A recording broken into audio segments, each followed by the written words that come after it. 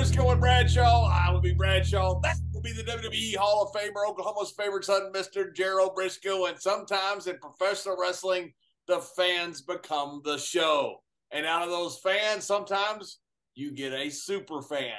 That's who we have today. He is known as the sign guy, Mr. Rick Achberger. And I want to tell you from personal experience, some of his signs were stupid and not funny. That was the ones about me. Here he is. Rick, welcome to the show. Hey, good to be here. You know, it, it's it is such an honor to be uh, you know talking with a Hall of Famer, uh, someone I truly respect, uh, Mr. Brisco. It, it is an honor, sir.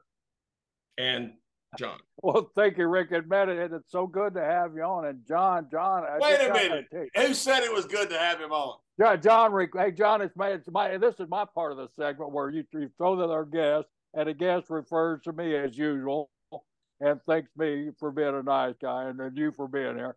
So it's my turn uh, to, to ask Rick. Rick, uh, you know, we're, we're John. John requested you that I, I look you up and I get you on here. So you know, you know, don't shake your head. No, I'm telling you the fact here.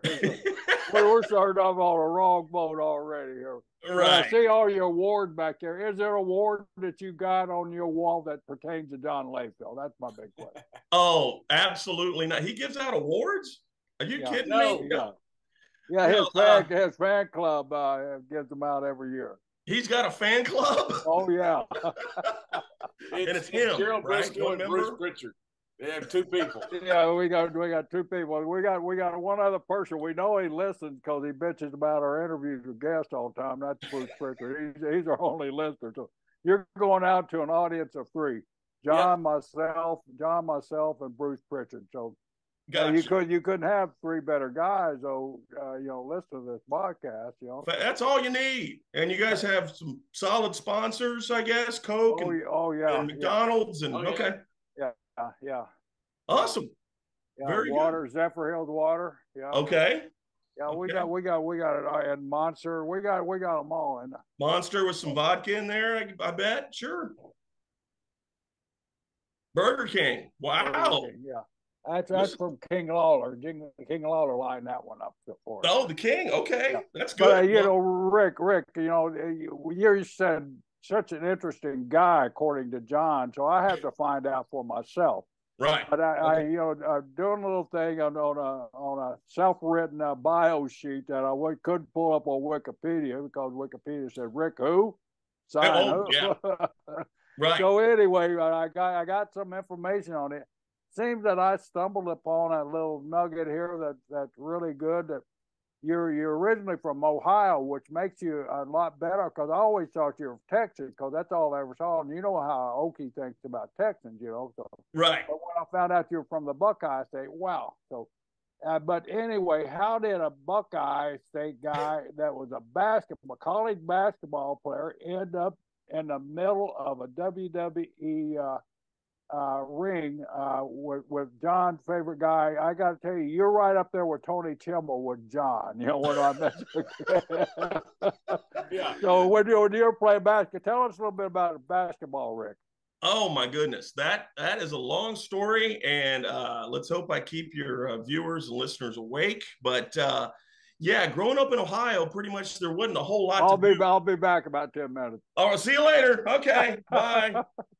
well, we got that one viewer, so we're still good. Uh, you know, growing up in Ohio, wasn't much to do but play basketball. Pretty much, it was in Gahanna, Ohio, a little suburb of Columbus, and uh, you know, my aunt moved to San Antonio, Texas, where she said, "I think Rick could dominate here. I've been a six man in in Ohio, moved to Texas, San Antonio. Yeah, I was pretty good." and uh, wound up got a scholarship with uh, Stephen F. Austin State University, Axe 'Em Jacks. Uh, I don't like John applied there for football, but he didn't meet the academic standards. oh well, that's a shock. And you got in, right, Rick? Oh sure, sure. Got Okay. had, got scholarship. Uh, not yeah, not for smarts, that's for sure. But my sophomore year, we were two and twenty five. Uh, not a proud moment. Uh, but as soon as I left, they made the big are the dance. two teams you beat? Uh, Were the they high School for the blind, and I think a cosmetic, uh, like a hairdresser school. So Cool, cool. Yeah. So we were next to last in the like- nation. Brooklyn was University close? was last, I remember, and then us. So that was that was a while back. But as soon as I left, yeah. the ladies from the cosmetology school, was it close or was it like in overtime? Okay.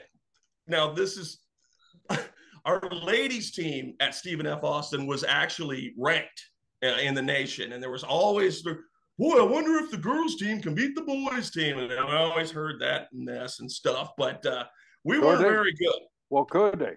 Yeah, could yeah, they? they probably could. Yeah, if uh, if I was playing, yes, they could. Yeah, they could definitely beat us. So I played bench, but uh, uh, you know, after that, I, I was in radio TV. Uh, I worked at for a couple television stations, some NBC affiliates in Tyler and in uh, Nacogdoches, and uh, left that. There's no money in TV, as John well knows. So uh, started going into sales, and I've always had this a passion for watching wrestling. Uh, even back in the Ohio days, I would watch the TBS Superstation. I'd see, you know, you get the Ric Flair and the and the Dusty Rhodes and uh, uh, Mr. Wrestling Two and all these guys, and I just I was infatuated with it. These were larger than life superheroes. Just uh, had a fond appreciation of it until I went to a show, and that's where the hook comes in. Is I loved it. These guys, these guys who I see on TV are actually there. And if I say, hey, you suck, they're going to respond to me. This is what's going on. And it even elevates that with, with signs. I'm holding up a sign. They come over and rip it up or dump water on me. It became a drug. It became an obsession. And uh, after, I don't know, 1,600 shows, it's it's still, it, it seems like the first time every time I go to another show. So I don't even know if that answered your question, but there you go. So you you, you didn't become Yeah. Yeah. And I think that's possibly all WWE, but I do, I have gone to, you know, uh, just a couple TNAs and uh, Impacts and WCW. I actually stole a script uh, when I was sitting front row there. Someone left that out, so I just grabbed it and ran out real quick. what did it fall out of Michael Hayes' pocket? It probably did. Yeah. Along with a, you know, a little bottle of, of Thunderbird. What kind, what kind of script? Uh, it was right. it was it was two pages. It was a pamphlet, right? and you open it up and says just wing it. so these 1600 shows was Yeah, WWE giving you tickets or were you paying for it? pay, paying for it. Loved it. Was was a groupie. Uh, I can tell you, as of the, the last few years, though, I've I've maybe reached out a time or two to say, man, these tickets are expensive. Can you help? You know, because I just want to go. I know a lot of people uh, love to go to the pay per views. They love to go to the, the the TV, the Raws, the Smackdowns, what have you. I love the house shows. I love the live events uh, where I I guess things are still kind of you know do this, this, this, this, but it's it's more loose. It's more them having fun out there. And if I have a sign or something, they'll come up and say something or or or interact, and that's what I'm really looking for is that that interaction part of it. So what has Have you the ever had any trouble? Have, go ahead, Ed Don. What has been the best interaction with a sign that you've had with somebody? Maybe the maybe the angriest somebody has been besides me, because I I hate all your signs about me. Man, I mean, oh, the thing is, you go on a loop. You know what a loop is. You know, you're in you're in Austin We've heard, one day. Yeah, so we've heard. Okay, yeah. Yeah. So I'm I'm following that loop. I'm going five shows just like y'all, five or six or whatever it is, and I'm coming up with signs for like you a different one each night. It's tough to do. So yeah, you saying a lot of the signs are crummy. You're right uh, because it's it's hard to come up with different stuff and is this going to work and this stuff and after a while even the the superstars come up and let me know about it it's oh that's oh that's good oh that's bad you know stuff like that and i usually get that from the miz he always uh, reacts to that but my to get the biggest uh meanest interaction would have to be the person who ripped up my very first sign and this was a raw tv show and it was the Nation of Domination. And uh, I think South Park was big at that time. So I had Cartman pulling his pants down and, and farting, and it says the Nation of Flatulation. And Mark Henry didn't like that. So during commercial break, he comes right over, shreds it up, and uh, that's what got me hooked. Was wow. But there was a time at a house show, couldn't tell you what city or where, but uh, I was very professional. I'd carry these uh, leather bounded artwork. You know, you've seen like the, the these briefcases, basically, uh, but they're really thin, and I guess architects or whoever use them. I use them for my artwork because I am an artist. Uh, I'd bring them into shows, and I had one there with 12 signs ready for the show. Mark's match was second. He comes over immediately and shreds the whole briefcase along with the signs. That, I, that feat of strength was incredible. and Charles so Robinson how, felt wait a minute, how, how, many signs were there? There were like 10 or 12. And he ripped them all up. Yeah, but the case itself was, I'm talking leather bound, thick, and he just like shredded up like, I don't know, like like this little piece of paper. I mean, fly, you know, everything flying everywhere. And Charles Robinson comes over and just picks up a little piece of sign and goes, Here you go, man. it, it, was amazing. So that reaction was pretty incredible. But uh, yeah. Did he rip up the briefcase too, or just the signs? Yeah, that's what I'm saying. It's a leather brown briefcase. He shredded it up. Mark Henry ripped up a leather briefcase. Yes, yes, along with all the signs. He is world's strongest man. John. It's not surprising the guy can bend a frying pan. I mean, uh, no, no. We, I saw him one time. Yeah. We were in a, a, like a like a high school dressing room type. You know, had the uh, combination locks on. Uh-huh. And Arn Anderson had put his bag in there, and somehow the lock the locker closed. And so they were uh-huh. got a crowbar, and they were trying to pull the locker apart to get Arn's stuff out.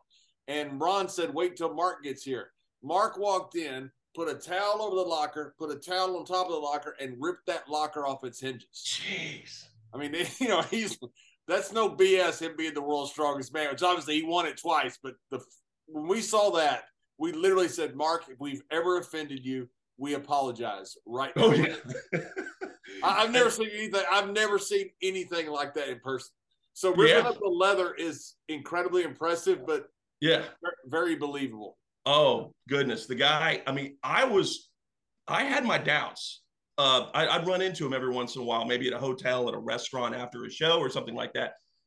Would never smile. Would just give me the meanest look. And for I don't, it had to be decades that I thought he's going to kill me one of these days. And uh, my God, he doesn't like me. It's such I a shame he didn't. I know, and I think it was like maybe a year ago. He was at like an, a local promotion, and I went up, "Hey, how you doing, Mark?" And he was nicest, sweetest guy ever. I've met his lovely family. Uh, so we're best of friends now. So. Thank when, when you run into when you when you run into guys like that out, out of the way out of, the arena, what kind of reaction do you get? Do you get friendly, friendly uh, smile in them, or in them uh, come up and say, you know, hey, good job tonight, or anything? Yeah, like yeah, uh, all of them super friendly. Um, it, you know, even there there was one time actually uh, going on a loop. Um, I think we were in San Antonio, and I believe we were flying to Corpus Christi on a Southwest airline, and well, we we drew C, you know, in Southwest, which is like the last, but we look over and we see the whole SmackDown roster about to board that plane, and I've been ripping on them the, the night before, just mercifully, just crazy. And so it's almost like a dream where my friend and I, Scott, we're, we're on the plane walking down the aisle, you know, and there's Brock Lesnar staring at me, and then there's Eddie Guerrero over here, and you just name the names. The big show couldn't really sit anywhere.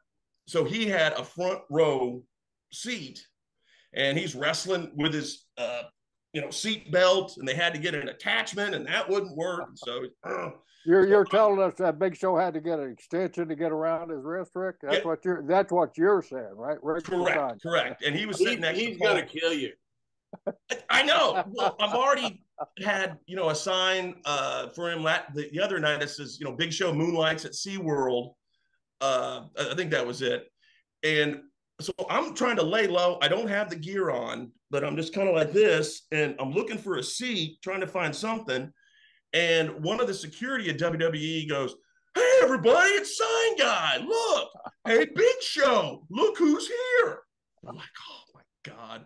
And Show goes, well, why don't you just sit right here, Sign Guy? Sit right next to me. Come on, I got a seat right for you, buddy. I'm like, no, thank you, sir. He goes, oh, it's sir now. Oh, okay. I'm like, good God, get me off this flight. So I'm, I'm hiding in like two rows uh, in the front. He shows over here and I'm over here. And during the middle of the flight, he gets up to go to the get something out of the top out of the storage area. And I'm like, oh, here we go. He goes, hey, coming to the show tomorrow? yes, sir. Goes, Good. It'd be good to see you. Goes and sits down. He is awesome. He, he's extremely nice guy. So I love the ones who just they get it. They get the joke. I'm not there to offend anybody. I'm there to have fun, except when it's like you know JBL. I'm I'm there to offend. Yeah, that's what I thought. That's why. And none, none of the signs you made about me were funny. None were funny. One was good. I think one was good, and it was uh, WrestleMania, and I think it was WrestleMania 22, Chicago. I want to say, and I had a, a, a big sign, and on one side it had a pack of beef jerky. And the other side, it had your face and it said beef jerky, beefy jerk. That's not funny. I love that sign. Thank Do you. you still have that? I mean, that's awesome. I don't. I don't have that. what a not- crea- that- what a creative guy. I mean, There's no humor in that. John. it's- You got to look at it the right way, though. You're looking at it too personal. It's not. It's not even creative. It's not. It's funny. genius. No, It's- it's not. I, I agree with our guest, Rick. Rick, uh, you know, uh, did John ever try to get physical with you or threaten you in any way, shape, or form? Uh, well, he actually did just recently. Uh, this Just is I did. yeah. He pushed me up uh, at uh, WrestleCon. Yeah. Uh, And this, th- uh, this is why he, he, he he's a he's John. He's not JBL. Oh, no, it was me. That was me. Okay. yeah. Yeah, It he, he doesn't know the difference between JBL and John. It's all you know those psychos. Yeah. So as soon as I walk into uh, what WrestleCon uh, this what was it this year? I don't even remember. Yeah, this, he pulls me up against the wall and goes, "You're going on our show." So I said, "Yes, sir. Yes, sir." And then he goes and sits down at his booth where there's no line, and he's right next to Trish and Lita, who have this line out the door. So him and Virgil have about the same drawing. card, Right. what you said. they, they had Ron Simmons in like another room, like a half a mile away, and they separate us and they put me by Trish and Lita. So there's like, like, no one but sign guy knows I'm there. right. It, it was fun. We talked about how great And, the and I will point out that sign guy actually pointed it out to all the fans. Look at JBL; he's got no fans. Trish and Lita has everybody. I can't leave that moment. And, and I, I said at that point, I reiterate the fact I hate you. well, good night, folks. Well, see you later. So you do five or six shows in a row. How do you get out of work? Are you driving back and forth to work? What? How are you doing that? Or No, are you employed? very yeah, Yeah. employed. Are you employed? Yes, yes, and they're very lenient. I get my I can get my job done on. Do they know they they, they know that your your other life is Rick the Sign Guy of WWE? Sure. Yeah, they they were very they understood my passion and uh, what I love to do, and of course, it, it wasn't all the time, but it was maybe I don't know, uh, or at that time it was about 40, 50 shows a year, um, which is Wow. it's a lot, but good lord, I mean, you guys, how how many have you done? Three hundred in a year or something crazy? We lose count. Yeah. Have you ever made a sign about somebody at work like I hate this woman, and just put a sign and an arrow or something? No, there it's uh it's not everybody's cup of tea uh wrestling, I guess. So, but I have actually uh taken my signs beyond uh the wrestling realm and brought it to other avenues like concerts. You were you were invited up on the stage at a concert, correct? Uh, I was? I was brought up uh at at a couple of them, but there there was one time where uh there's an artist his name's Lenny Kravitz. And he has a very we, have attractive- heard of Lenny Kravitz. You don't have to explain this stuff to us, okay? We've heard of Lenny Kravitz. If you have some like new person that's like just other, we don't know who that is. Uh. Lenny Kravitz is old like us. Even I know who Lenny Kravitz is. So I was at this Bing Crosby concert, and yeah, we were probably there too. okay, all right. So he has this uh, pretty attractive drummer, and uh, my friend and I are big Aerosmith fans, and we kind of followed Aerosmith while they were in Texas to three different shows.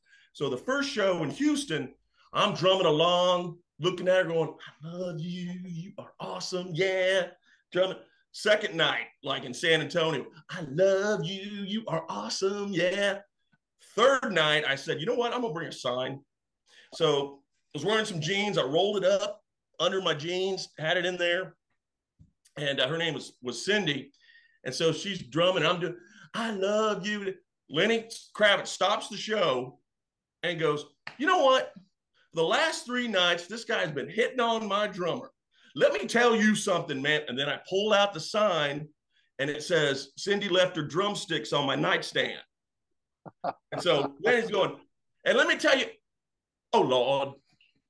It just stops the show. Cindy gets from the drum riser, comes over, gives me two drumsticks, and the show went on. So it's signs work, man. It was fun. So, uh, the as far as like WrestleMania, like WrestleMania, the big events now, do Mm-hmm. they does WWE ever reach out to you, or No, uh, I would love it if they did, but no, they've now that sometimes I'm they, back, they won't. uh, what's that? Now that I'm back with WWE, they won't. Oh, great! Thanks, thanks for the the pull. I was there. trying to get a name. I was going to get them fired. Oh, great. Oh, um, wait, I got a name for you. Uh, damn it, I'll think of it in a minute. But uh, sometimes they they've asked me to maybe uh, say a word or two for a DVD. Uh, uh, one time they had this biggest fan contest held in New York, uh, where they had uh, everybody send in videos of why they're the biggest fan, and they called me. And they said, "You know about this promotion we're doing?" I go, "Heck yeah! I'm putting together a video right now." Go, "No, no, we want you to host." Wait, wait a minute, Rick. I got to jump in there. They called you, so you're on that list that WWE has a fan's telephone number on hand. That means uh, yeah, that's not a good thing, Rick. Oh, um, am I on the blacklist or something? Is that? if they got your telephone number, you're on some list. Oh, well, they. I mean, they wanted me to host this thing. Uh, well, a co-host with with the great Jonathan Coachman. So uh, yeah, go go what? ahead with that. What? The great Uh, Jonathan Coachman. I've heard a lot of the same Jonathan adjectives used for Coachman Jonathan we know? Coachman. That's never one I've heard of. That's part of his name. The great Jonathan Coachman. Nicest guy ever. The opposite of John. So cool. Great. I was at his How did they get your number? I don't know. I Come I on, don't you know. got to have some idea how they got your number.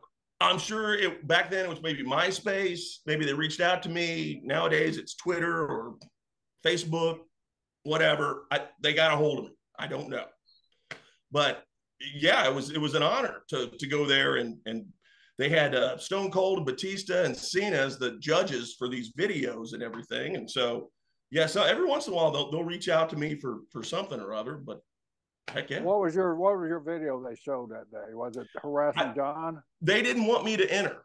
They didn't want you Uh, in there. Wow. Yeah, they just wanted me to, to host and, and be a part of it. So I'm like, heck yeah, I'll, I'll do it. Yeah. Put me up in a hotel in New York, sure. So have They- you they- kept, they- have you kept your best signs? Do you have like a, a catalog of signs that you kept? You know, I I did. I had uh, a closet full of them um, for the longest time, and then you know how it is. Uh, maybe if you're moving, or one day you're just looking, going, "Why am I keeping these things?" So I did. I kind of just dispose of them, and I think I might have some. I don't know, in a closet somewhere that I, I might have kept just for no. You reason. never cataloged uh, each sign or anything like that. No, no, nothing, nothing like that. You throw all that- mine away? Of course, yeah, Good. yeah. Good. That's, that's When- good. He And- tried. He tried to burn them, but the pollution people came along and said uh, he could couldn't put that up in smoke. Well, just just like the email he, he sent me not long ago, it went right to junk. So it, you know, it makes sense. Junk. You and know, yeah, yeah. Well, you, yeah. Your reply was was was priceless too. Are you That's the one that a came up with JBL just a born loser? now, do you think that's good? No, I don't. well, I don't either. I don't think I came up with that then. I did uh, once make a, a, sign of your face, and it was a, an activating toilet where your hat was a lid, the lid. So I remember that. I remember that, and I don't think it was funny. I was my. I remember back at the gorilla position, everybody was laughing their ass off. So my really good.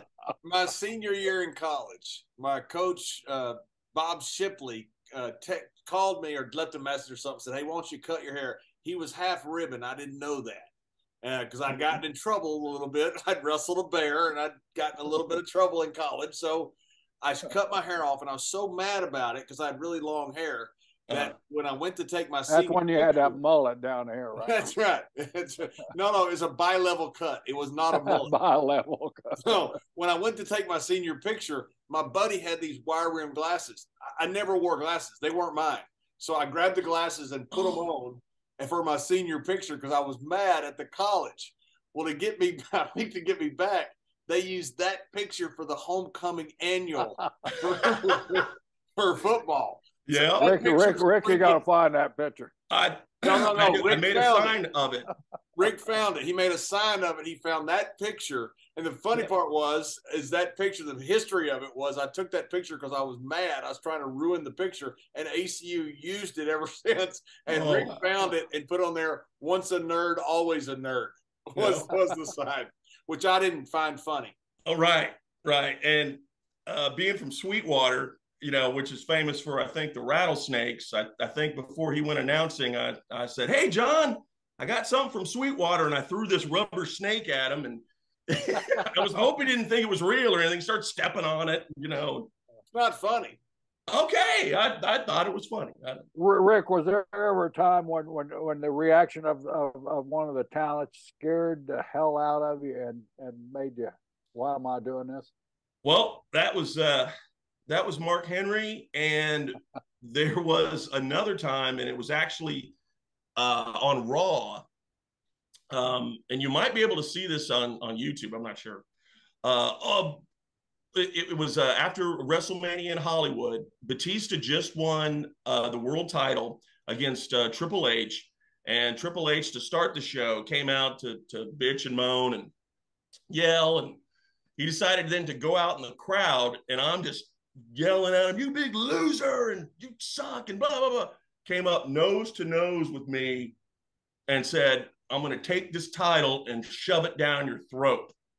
And I was just like this, and camera guys were like, "Check his pants! Check his pants!" And I, I went up to Pete later. He's like, "Was that real?" I go, "Oh yeah, yeah, yeah." Scared the, the crap out of me.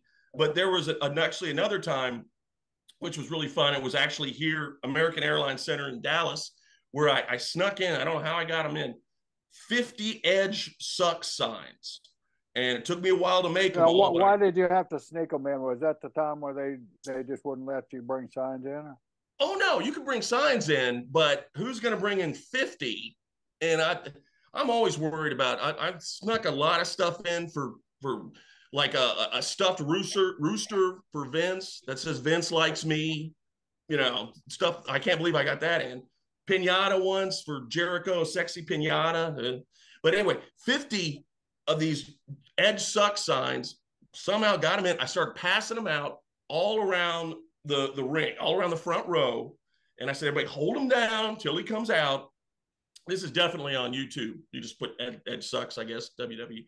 And uh, he comes out, his reaction was so priceless. It's uh looking around, I can't believe this. Oh, what the and I think JBL was commentating during that too. Because uh yeah, he was. He was commentating. Because and he blamed it on Cole or someone for for for bringing out the signs or something like that. But yeah, check that out. It was good. It worked.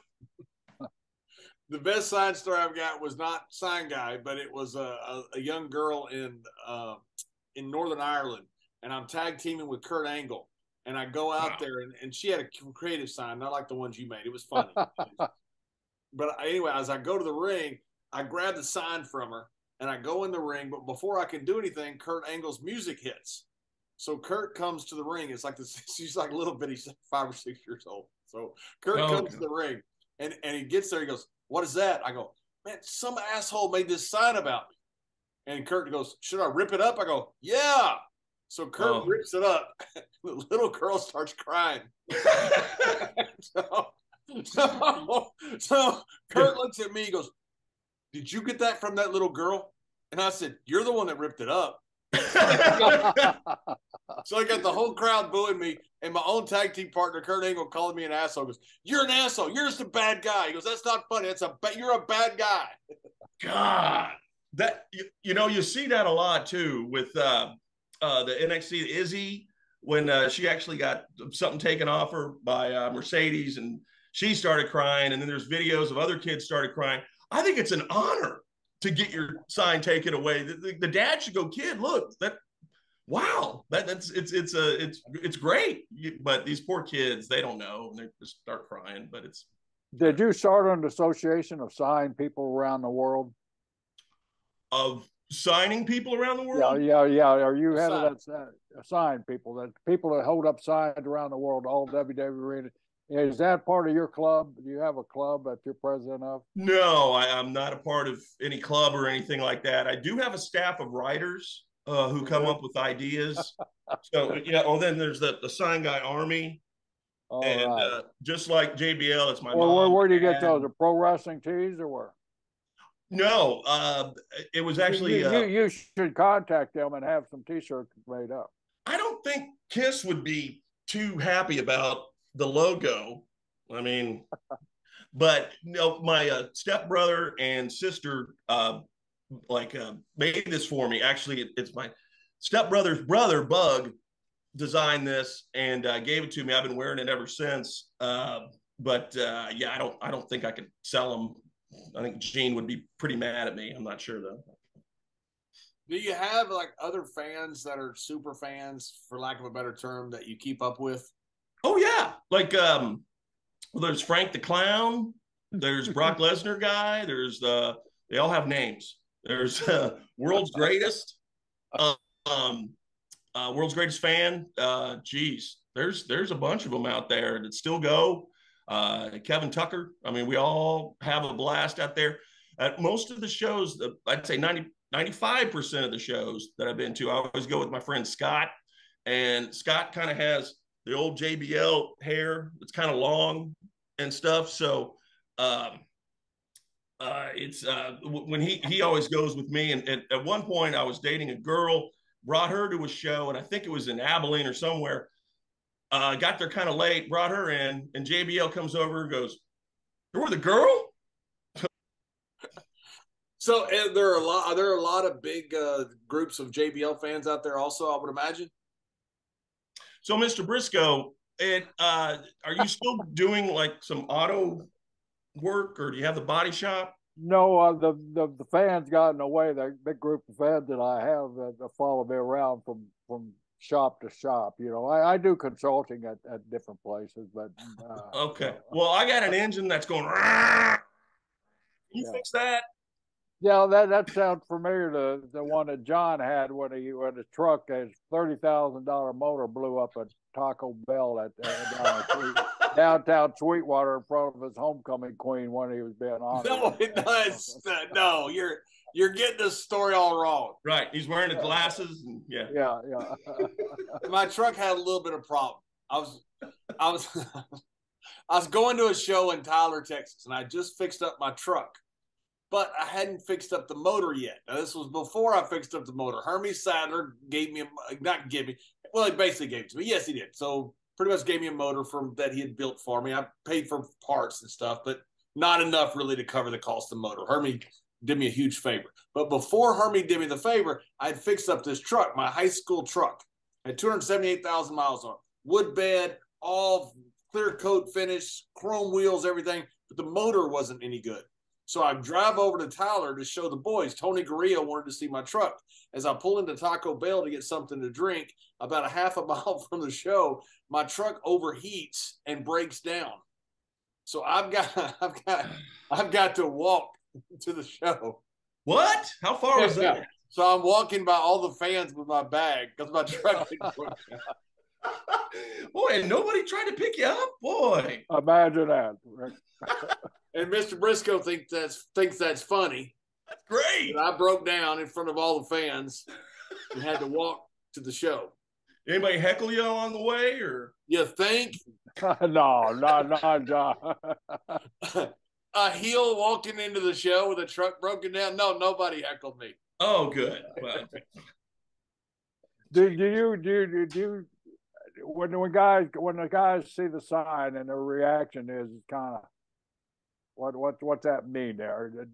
Did, the other fans come up with you and hey man, Rick, way to go, Rick, you really got him tonight, or anything like that? yeah, uh, the, yeah. Every once in a while, I, I get that. But what I like is since it's you know WWE, there's there's more and more guys coming, and they keep bringing in more and more guys and girls. And I love the reaction of maybe holding up a creative side of someone going, "What the? Who the hell's that? And why?" And then someone who know, yeah, that's just sign guy. He's fine. He, you know, don't worry about it. And that, from that the local hospital around here. Yeah, and that happened, uh, I guess, a few months ago. Uh, uh, during a house show, uh, Miz TV was doing his his bit, and um, he brought out uh, uh, A Town Down. Um, I'm having a brain fart. That's terrible.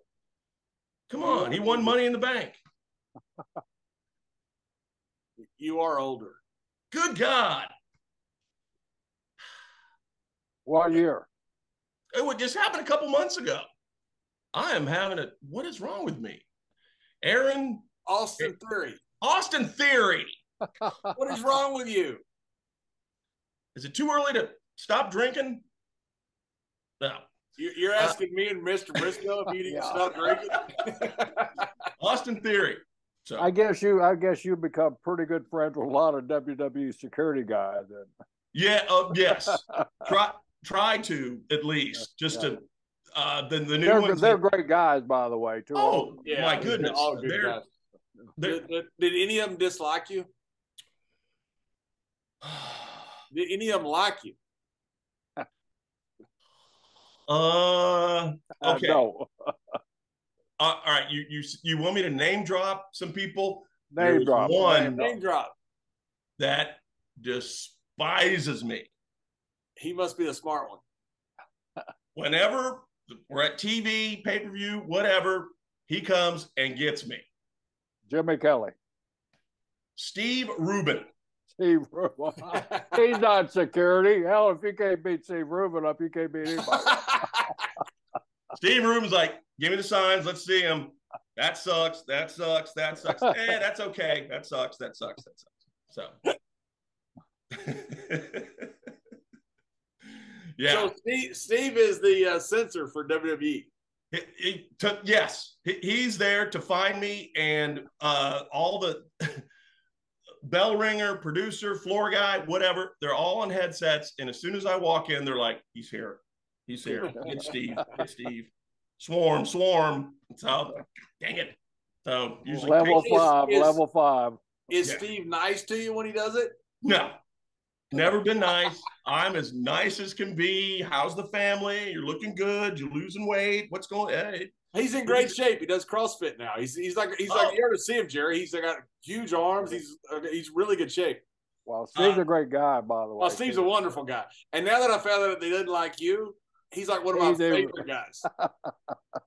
I mean, Yeah, Steve you- Rubin right now is like at the top of the. He's up there with Ron Simmons and Gerald Brisco. Yeah, well, you guys can have your fun wh- whenever. He, he can't stand me it, when he comes how, over. how does Ron, how does Ron Simmons treat you? Does does he treat you like John, or does he I, I haven't met. scare the hell out of you when I he don't think looks I've ever at met you? Ron. I don't oh. think I've ever met him. Do, you, uh, do you ever? Are there certain guys that you will not insult? Uh, Bubba Ray Dudley doesn't like me, so I'll leave him Smart. alone. Yeah. Uh, So is So you Bubba leave- told you- you, he doesn't leave like the- you leave told you Oh. don't like you too. Kevin Owens hates me. Yeah. Yeah, because Do I you right? Do you do, still do signs about him or what?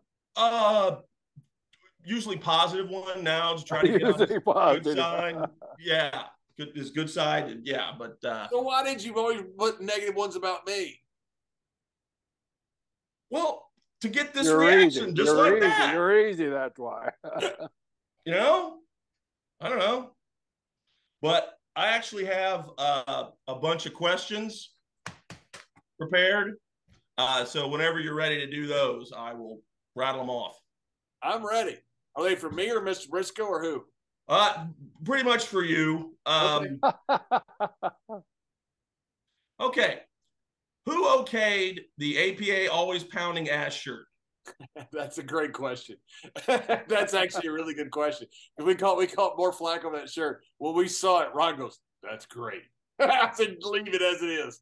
Oh yeah, we saw it and let it go through. Yeah, yeah, yeah, yeah. Yeah, we thought it was funny. I don't know who approved it on, on the corporate side, uh, but Oh, so you don't have any say of, no, no, we do. But we we we we we, we but thought you, it was it's like, oh, we understood all the double entendre of it. We under, we thought it, we thought it was funny and let it go. Okay. Okay. Now, are you you do, from what I understand, get a percentage from like merchandise, probably a small one, right?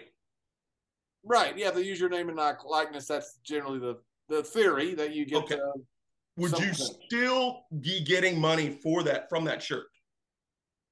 oh, I don't know because it's, it's when they send us a breakdown uh, of like all your stuff.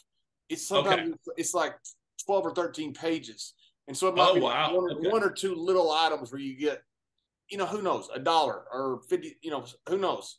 Got it. Okay. Every amount is listed somewhere. Okay. Uh, being a, a, a guru in investments is WWE a good investment? Yeah, absolutely. The, the, the all the TV contracts and everything they have, that they've got a way to, to monetize so many different things because live live content is at a premium right now in in the television in the I say television in the content world. Okay. Being an investment expert, what do you have to show for it? I see I'm, an, friend- I'm, see friend- an unmade- book. An unmade bed back there. I'm Uh, friends with Mr. Brisco. Yeah, but I own this hotel. Oh, okay. I don't see any butlers. I, yeah, I'm overlooking uh, the practice facility of the Dallas Cowboys right now. So Jerry and I are very tight. So You're the same age. I'm in the. Are, are your are your questions going to be You got his your speechless. Yes, they get better. Okay. What fascinates me about being a, commentator is how do you commentate when you got 10 people, 10 different people in your ear? You You don't. you know what I mean? That's overblown. Completely overblown. It- Really? Michael Cole might have uh, because he's been around so long. He he can have ten people in his ear and somebody texting him at the same time, and he handles every bit of it, E- every single bit. Of it. I've seen Michael Cole handle more traffic than that would blow a person's head up. A normal commentator, And you're not getting that same he- noise? He, will have he will have the producer in his ear. He will have people in the, in the gorilla position in his ear. He will have people texting him all about the show, and he will be talking while he's answering all this or writing this down, talking about the match that he's calling. Michael Cole, what he does out there is ridiculous. I've I've sat there and watched him. He's I- on. I don't know how But as far as as far as the color commentator, we don't have a lot of people in our ear. Uh, we'll have a couple people in our ear, and Vince, if you're asking about, was always very succinct in what he would say. Very short sentences. He was actually, I thought, an excellent producer because you knew exactly where he was going. Because sometimes he kept things to himself that might come up later or come up two or three weeks later, and you'd say something that was prescient based upon what was going to happen that you didn't know about. So Vince, Vince in your ear, I thought was always was very good. Michael Cole's the one that has to deal with all the traffic, and it is insane the amount of traffic that he has to deal with, and as calm as he can be doing it. yeah, he's- I- Mi- Michael's the best. Michael's the best uh, play-by-play guy I've ever seen. wow. Okay. Uh, do you miss coaching? Hundred percent. Why didn't you stick with coach. that? Why didn't you What's stick with it? Why didn't you stick with it? because as a football player, I was a good wrestler. well, I loved coaching, and I, I thought I, I needed to get into wrestling while I was still young enough to maybe make a living at it. That's why I always thought I'd go back to coaching uh, football, and I, I just never did because I was I never dreamed I'd be in wrestling this long. That's one of the reasons I like working with kids now is because I enjoy coaching. I enjoy working with you know young young people. Uh, to me, it's Yeah. it's very I thought so. I thought you'd be a pretty good coach. And my, my follow up is do you miss coach?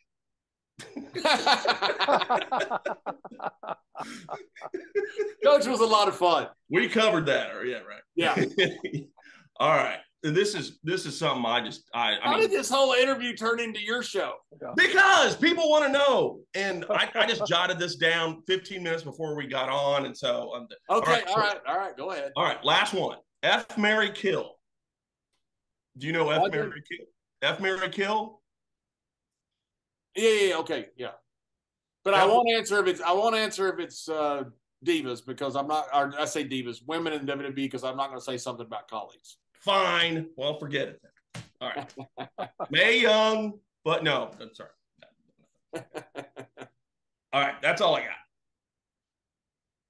Are you sure? Yes. You know, we met. So can we have the show back now, Rick? Go ahead. Sorry, handing the ball off. There you go. Sorry about that. Every once in a while, we lose control like this, you know. and so, uh, That's right. We Well, like I to- I asked- I- I would say I, I questions. think Michael Cole, and this is honestly how you you would you would hear it. You'd have somebody in his ear say, "Okay, Michael, we're going to skip 56. We're going to go to 57. You got to do 58 live. We're going to do 59 after the break, and we'll do 60 as an on camera."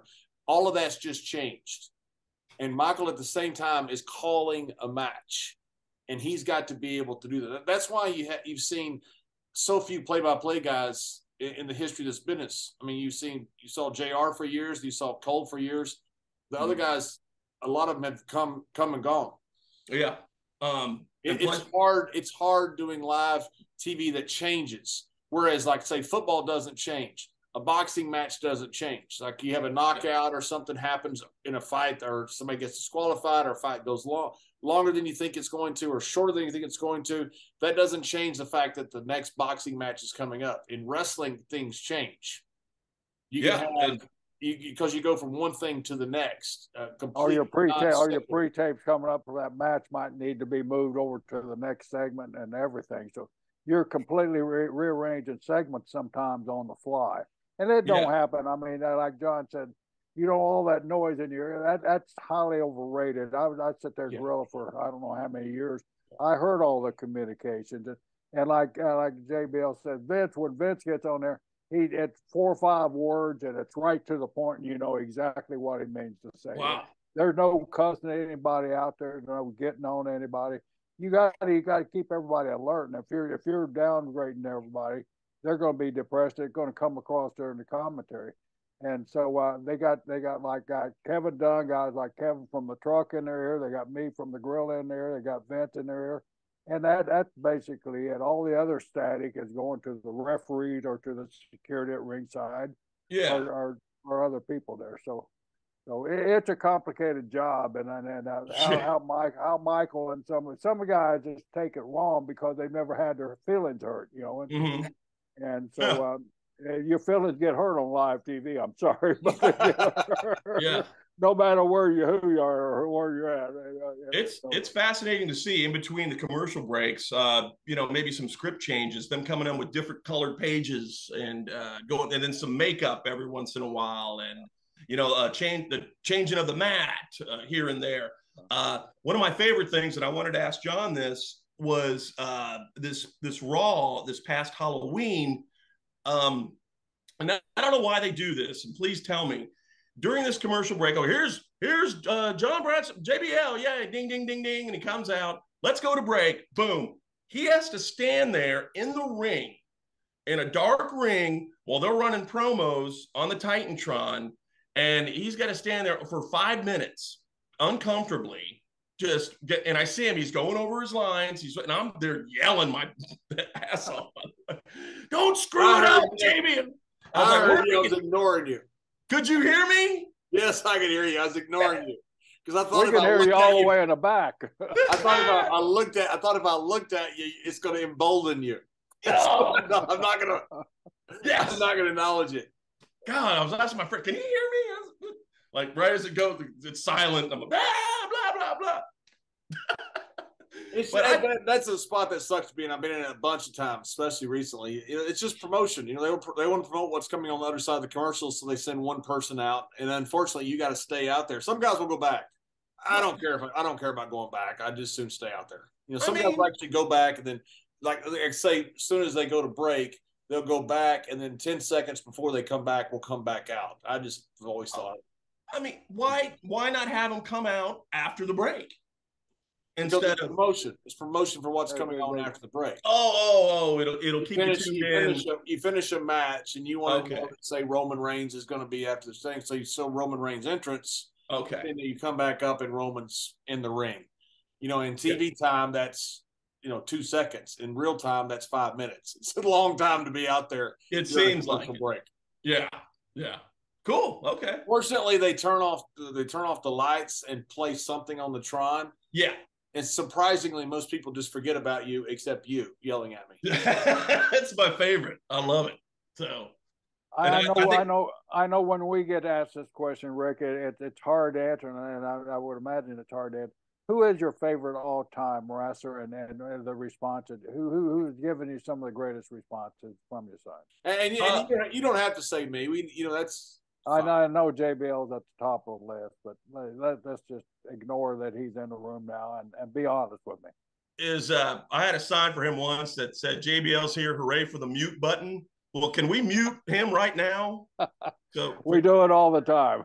uh, it, I, I- I've been asked that uh, question quite a bit, and I'll, I'll have to go back to to being uh, in Gahanna, Ohio, watching the the Superstation and seeing this obnoxious, loudmouth, larger than life guy who I totally wanted to to be opposite of growing up, Ric Flair. Hmm. Uh, just over the top. Just look what I got. Look, look, look what you have. You know, um, of course, JBL's inspired by Ric Flair, but uh, I, I'd love to get it in with, with him, and I have uh, for a number of shows. Telling him you get your suits from J.C. Penney. That's a nice dollar store watch you got there, and he has to come over and show me its designer and let me know and tell me to shut up and This- have you touched on his baggy pants recently? Uh, oh Hills. yeah. What happened there? Did, did you forget yours and had to go Those- get those- some? Those Or? were 330 pound uh, JBL clothes, but now he's 185 and he's. I have I have pants that fit. I don't wear skinny jeans because I'm an adult. What? It's simple. So you meant to do that? I have He's a, he's a fashion icon. Haven't you seen GQ with his picture in there and all these pictures? All That's these right. movie stars now are copying JBL's style. They're all They copying me. baggy pants on. pants that fit. Weren't there a bunch of signs the next Monday about your baggy pants? I think I saw some. Until I explained to them that snowflakes wear tight jeans and men Uh, wear baggy pants. Pa- They're not baggy pants; they're pants that fit. I have a large ass. I got more ass than a donkey farm. All right. Yeah. Coach, told, Coach told me to haul ass and take four trips. okay. And I'm not going to put 10 pounds of potatoes in a five pound sack. So I put my 10 pounds of potatoes in a 10 pound sack. That's my pants, baggy pants. To you, that it's because it's not skinny jeans, because I'm an adult. Is this a Dockers commercial we're watching, or what? No, it's a fact about pants. I happen to know all about them. He likes skinny pants, in other words. Please, Rick, Rick, Rick, Rick, what, uh, uh, you during your, do you frequent other promotions, wrestling matches, and do the same thing over there? uh, Do yeah, they from time to time. too? Who? What? Do they hate you too? No, I am so well respected. Um, yeah, uh, yeah. I uh, let's see. Impact Wrestling was just here uh, not too long ago, uh, for shooting for two nights. I brought a few signs there, and what what I think of what's great about uh, other promotions is you get old WWE guys, Yeah. you know, that have, have traveled from here and there, and it's great to see. You know, I I, I was yelling at. Uh, uh, Mia Yim uh, before she came back to WWE. She was working for Impact, and I, you know, text Shelton. I go, "Oh, you got a little something for me for Mia?" And he's like, "Yes, do this." And so sometimes I get sign ideas going going that route. So that, that's kind of fun. But uh, yeah, it's good to see uh, uh, different uh, independent promotions as well. I mean, there's local promotions everywhere uh, across the country that have just some phenomenal uh, phenomenal wrestlers and, and entertainment. And uh, uh, remind, speaking of which, remind me at the end when we're done. I, I want to promote something, if I may, uh, about a local pre- wrestling promotion that ran some some bad luck.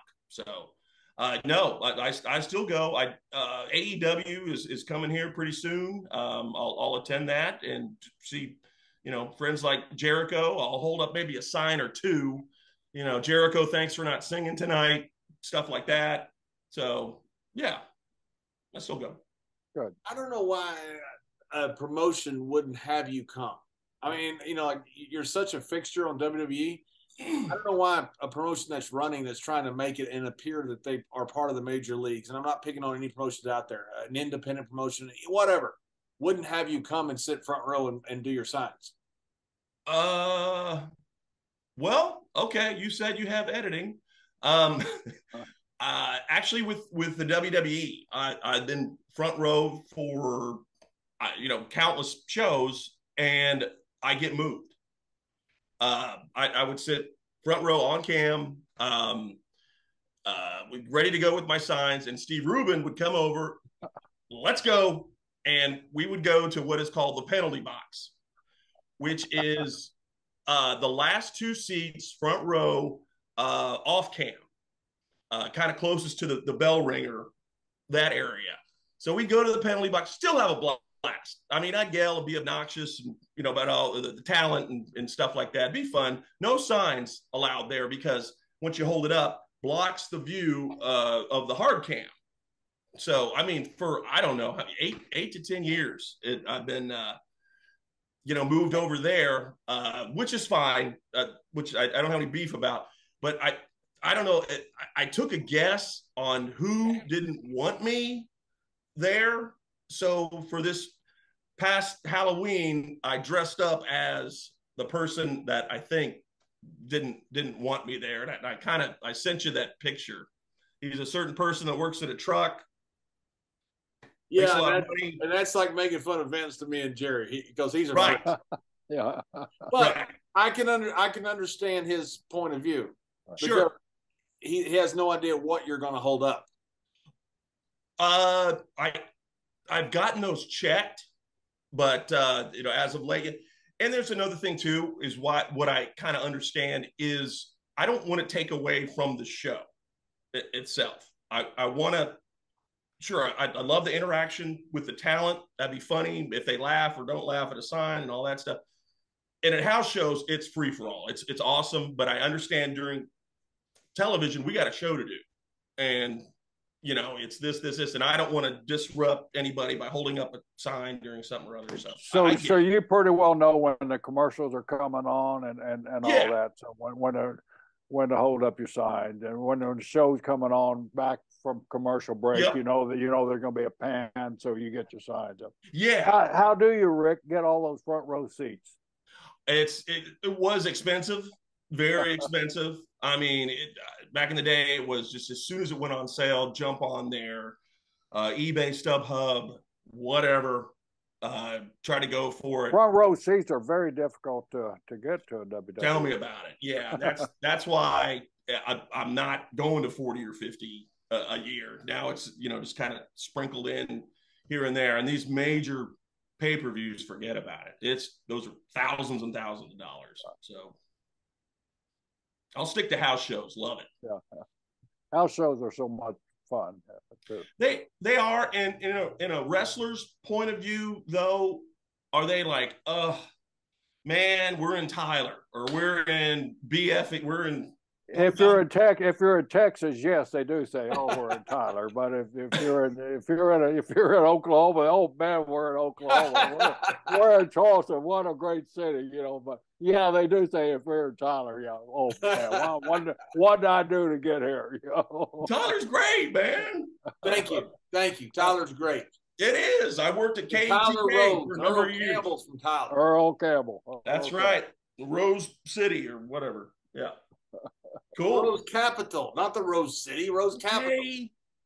The Tyler do the people, Rose. Do, do, the people do the people at the buildings know who you are? The people at the like Uh, uh, building management, uh, like yes. when you go, can you go like to the box office? Hey, Rick, how you doing? Hey, well, they're coming back in, in a month, two months from now. Can I get get my name on the list? Uh, usually the local security knows. Uh, just going to so many things and wearing the same dumb outfit that they huh. they say, okay, he's he's okay. I'll, Do you have more than one outfit? Do you have more than one blue shirt and one one cap? No, I'm like Einstein, where he had, yeah. you know, the same shirt and pants. It, it's around the same thing. That's as, uh, the only way you're like Einstein. so geniuses, you know, we we just we don't have to choose. We're this is a, a fashion statement that's really homeless people don't either. you know, one time my my brother-in-law asked me, "How do you come up with your brilliant ideas?" and uh, you know what do you do when it just hits you you know when god just throws that idea in there i pretty much just write it down on any piece of paper that i see and all now that you're sleeping you're sleeping at three o'clock in the morning all of a sudden i did do you wake up and do you write that down heck yeah i keep a pad right by the bed yeah, wow. scribble it down he goes, "You're kind of like John Lennon." That, that's yeah. dedication, man. That's dedication, John. You know, you told me he, he did. He was just uh, one of these bums off the street. We're learning so much about you, uh, Rick. Oh, it's yeah, these gifts are gold, you know, these ideas. So, you know, I put them in my phone anywhere I, I, I can, write it on some toilet do, paper. Do, do, fans, do fans come up to you and give you, give you suggestions? Hey, hey I heard this about John or some. no, any fans out there who have any dirt on John, let me know. Uh, I will include that in the next sign. It's pretty much all over the internet. you don't you don't have to look far. Really? Okay. yeah. You don't look. Yeah that's what I wanted to ask you too. Is I I never thought you, you being a manager, and I should have. I go, what a great fit. I mean, is this something that you've thought of or planned, or did they come to you and say, "Hey, will you be a manager?" Or no, I no, I they called me and said, "Hey, we want you to do something uh, with Baron in Oklahoma," and I didn't know if it was a one-off. I don't know if they did either. I mean, it, it, all came as a surprise, hundred percent surprise. I'm very, I'm very glad it did. I'm having a lot of fun, but no, it was not something where I, I was wanting. Hey, I want to be a manager. I, I, didn't know any of it was coming. Bear and I, Bear and I were decent friends. I think pretty good friends. Yeah, but, but it just kind of came out of the blue. Yeah, that's good stuff. And uh, not to get too personal, but do they do, do you have to sign a contract for a certain amount of time, or are they just kind of, uh, I don't know, a one, three off, four off? They just kind of keep calling me. Keep calling. I, I don't know. All right. Little, literally, I told Jerry before we started going in. I said, I don't know if I'm working next Monday or not. I have no idea. Right. They called me on you know Thursday, usually after creative, and said we need you Monday, or I go back. Okay. It's, it's all been a surprise. Sometimes we're talking about the show, and I said, John, are you going to be available next Tuesday? Well, I don't know. Where am I? I got to tell him where he's at. You know? That's right. That's right. Man.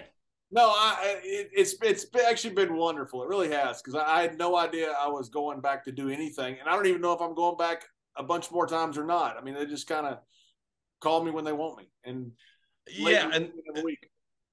and I'm I'm disappointed that it's just TV because I was thinking, oh my god, though the house shows will be just phenomenal fun. I mean, I, I got to make at least six signs. I mean, I would actually, I would enjoy doing uh, the the live events because that would that was always the most fun because you got so much free rein with the promos and your matches, and yeah, I really enjoyed live events. Right. Oh, damn it. Oh well. Yeah, before when you were asking about Tyler, Texas, guys really enjoy the house shows.